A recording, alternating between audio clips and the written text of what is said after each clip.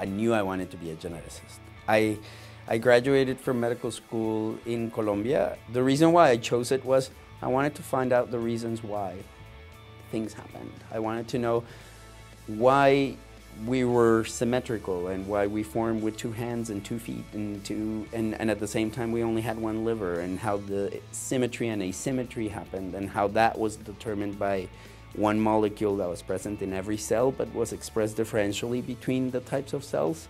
I found that fascinating as a concept.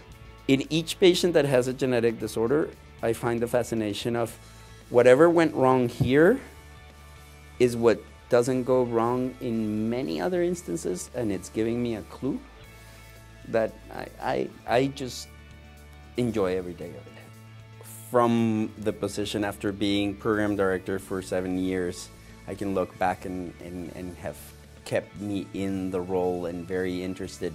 I think the education aspect is definitely one of them. The, the possibility of transmit the passion that you feel towards certain aspects of the field, the, the way that you want to emphasize certain components of the educational program. Uh, but then the interaction with the trainees definitely is what keeps you there. It's uh, a lot of fun to work with them uh, in achieving the best quality education. So my goal was to make it a fun program that people wanted to come to and, and that would uh, feel happy and proud to be a part of, and that achieved the goal of training excellent geneticists that went to serve a very useful role in the community. And I think that those goals have been achieved. You have to allot time to get to know your residents.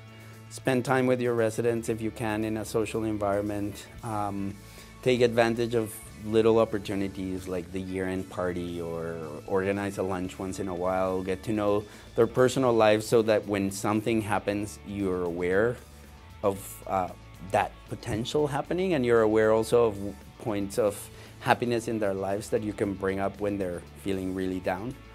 I think that the achievements of our trainees uh, are the indicators. So all of our trainees have uh, gotten a job and have gotten an academic job that, uh, in for the most part, in centers that they wanted to.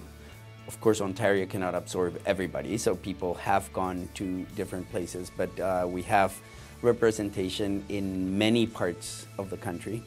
I think that the graduation of the first uh, group of trainees that was junior when I assumed the role was one of the most satisfying and, and continues to be a very satisfying uh, experience to see them as colleagues when, when the trainee kind of gets it and makes the connection and, and you feel that you're both working together well and you're both excited about finding an answer. That's, that's one of the favorite aspects of the day.